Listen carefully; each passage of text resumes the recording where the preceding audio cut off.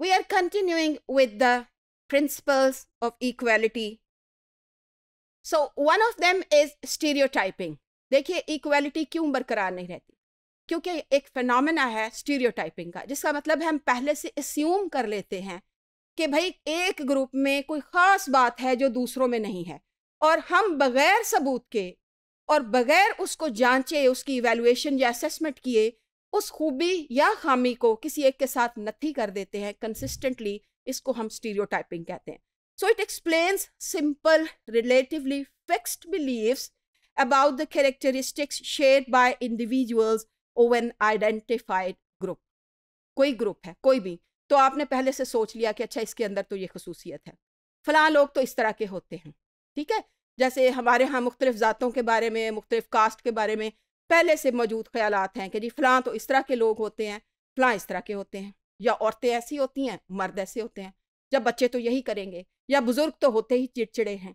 तो ऐसी बात जो आप किसी के साथ बगैर एविडेंस के फिक्स कर दें और फिर उसको उसी तरह ही समझा जाए, इसको हम स्टीरियोटाइपिंग कहते हैं।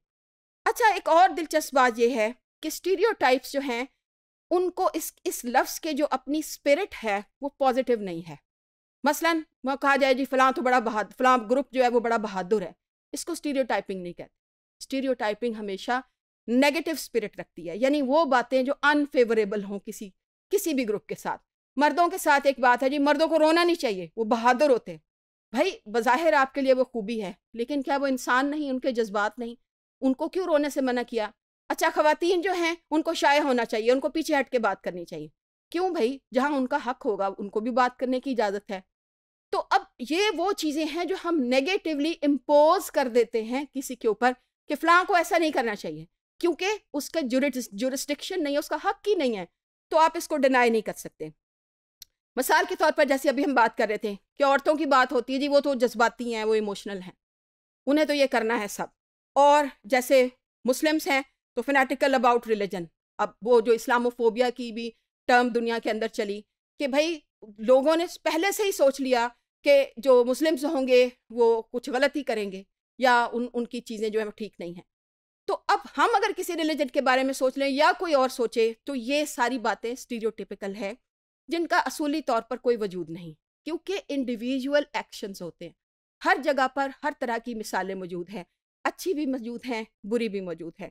तो हम इन प्रिंसिपल्स को फॉलो करेंगे, ताकि हम एथिसिटी के जो हमारे जो प्रॉब्लम्स हैं, वो ना बने। फिर हम देखते हैं कि जी लैंग्वेज रिफ्लेक्ट्स एटीट्यूड्स जब हमने अभी बात की स्टीरियोटाइपिंग की। बच्चा जब पैदा होता है, उसको क्या पता? फ़र्द कौन होते हैं, औरतें कौन होती हैं? मुख्तलिफ़ मज़ाहब के लोग कौन हैं, क्या करते हैं? बड़ों की क्या हैसियत है? छोटों की क्या हैसियत है?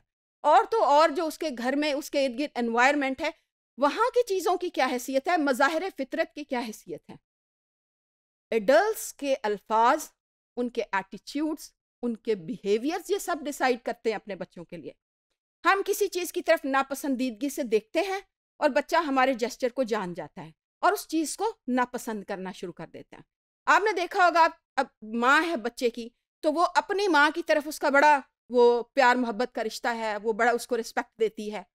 बच्चे कुदरती तौर पर अपनी नानी या ग्रैंड मदर के साथ अटैच हो जाते हैं, क्योंकि वो समझते हैं हमारी माँ इनको अहमियत दे रही है। वो उसके बाप से जिस तरह का सलूक करती है, उसी तरह बच्चे उसी तरह का सलूक करते हैं। घर में आने वाले मेहमानों के साथ जैसे डील किया जाता है, बच्चे भी उनको उतनी ही अहमियत देते हैं।